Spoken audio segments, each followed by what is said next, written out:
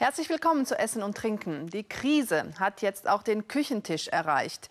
Seit vergangenem Herbst sparen die Deutschen am Essen und kaufen lieber Fertigsuppen. Deren Umsatz ist um 50 Prozent gestiegen. Aber auch andere Fertiggerichte finden reißenden Absatz. Klar, alle sind gestresster, haben weniger Zeit und wollen nicht lange am Herd stehen. Aber wie frisch sind Fertiggerichte und was steckt da alles drin? Das ist unser Thema heute. Und als Appetithappen bekommen Sie gleich ein extrem Fertiggericht. Fertiger geht's gar nicht, denn das Essen kommt aus einem Automaten. Klingt nicht verlockend, ist aber für Genießer gedacht. Gönn dir was Echtes. Echte, solide Hausmannskost? Aus einem Automaten? Ist das nicht ein Widerspruch in sich? Die Idee, schnelle und frische Menüs auf diesem Wege an den Kunden zu bringen, hatten drei mittelständige Unternehmer aus Heroldstadt bei Stuttgart.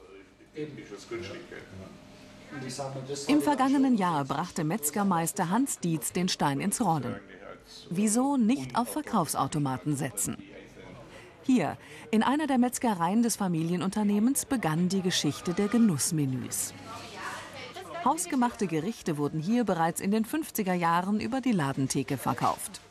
Sie schmeckten den Kunden so gut, dass immer mehr kamen, um hier zu essen. Verpackung und Herstellung wurden nach und nach modernisiert und die Küche vergrößert. Aus der Traditionsmetzgerei wurde so auch ein Fertigmenühersteller. Hans Dietz nahm Metzgermeister Stefan Strohmeier mit an Bord und baute eine Großküche auf. Gleich in der Nachbarschaft von Automatenhersteller Gerhold Stüver. Hans Dietz kaufte bei ihm einen Kaffeeautomaten für den neuen Betrieb. Und da hat er gesagt, ich mache Menüs, kann man die auch in Automaten verkaufen. So hat es angefangen. Das, ja, das war einmal das Urgespräch. Und dann habe ich dann nichts mehr gehört. Und ich bin schwanger gegangen. Und, äh, und äh, Herr Stüver hat sich damit beschäftigt. Und dann hat er irgendwann erzählt, er hätte einen Automaten. Na, ich denke, ja, tak, tak. Der Automat, der kühlt und der macht warm und der macht das Essen fix und fertig. Hat sich alles toll angehört, gell? Warme, hausgemachte Butterspätzle aus dem Automat. Hört sich wirklich gut an. Gesagt, getan. In dieser Großküche werden sie zubereitet. Und rund 20 weitere Genussmenüs. Trotz der Großproduktion, Betriebsleiter Michael Kämmerling setzt auf regionale Zutaten. Wir haben hier nur frischestes Gemüse bei uns aus der Region, das für uns zugeschnitten, zubereitet wird, frisch angeliefert und im Tagesrhythmus auch verbraucht wird. Auch Eier und Fleisch werden von Landwirten aus dem Umland angeliefert. Man bleibt bei seinen Wurzeln. Küchenchef Stefan Herber lässt uns in die Töpfe schauen. Hier wird noch von Hand gekocht, nach Traditionsrezepten. Darauf legt Chef Hans Dietz großen Wert. Man nimmt sich Zeit, selbst zum Anschwitzen von Zwiebeln und Speck.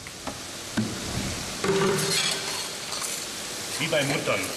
Schonend gegart, um so schön saftig zu bleiben, wird der traditionelle Braten. Sechs Stunden auf 90 Grad und dann ist das Fleisch von außen und von innen gleich weich. Und immer, ja, zart einfach.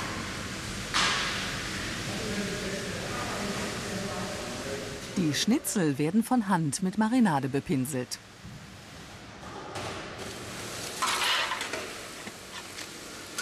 So, jetzt müssen wir Brühe holen aus dem Kessel, oder? Sogar die Brühe wird selbst hergestellt. Die Spätzle nicht, kommen aber aus der Region. Und was gibt dem Eintopf die dunkle Farbe? Aceto balsamico. Piemonte. Die gute italienische. Keine Farbstoffe, keine Geschmacksverstärker. Nur frische Zutaten kommen bei Stefan Herber in die Töpfe. In dieser Halle wird abgepackt. Vorbei mit Küchenromantik. Hier arbeiten Maschinen.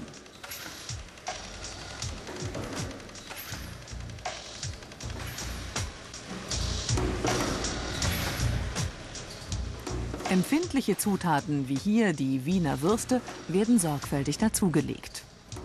Die Verpackung unter Schutzgasatmosphäre verhindert das Wachstum von Bakterien und Schimmelpilzen. Auf Konservierungsstoffe kann verzichtet werden.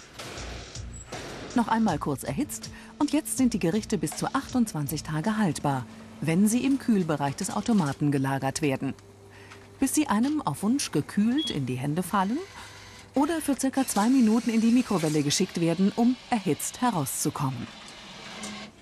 Bisher stehen die Automaten mit dem Essen der schwäbischen Metzger in zwölf mittelständigen Betrieben.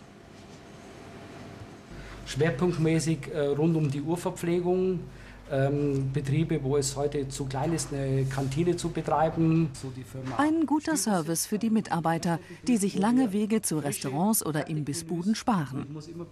Die Sparkassenangestellten machen den Test. Schmeckt das aufgewärmte Essen tatsächlich? Gericht auswählen, warten und nach zwei Minuten ist die Mahlzeit fertig. Appetitlicher ist es vom Porzellanteller. Also das gut, ich sage, es ist heiß, ne? geschmacklich einwandfrei. Und das ist ein Gericht, das mag ich ohnehin. Ne? Ich sag mal, also passt. Ne? Wirklich prima. Sehr gut. Schmeckt absolut klasse. Gute Temperatur, gut gewürzt. Wie bei Mutti. Höchstens 5 Euro kostet ein Gericht. Die meisten hier finden das in Ordnung. Zahlt man ja 6 Euro, 7 Euro zum Teil. Also das ist dann schon ziemlich günstig. Ein Automat als kleinste Kantine in Deutschland? Die Alternative zum Fastfood um die Ecke.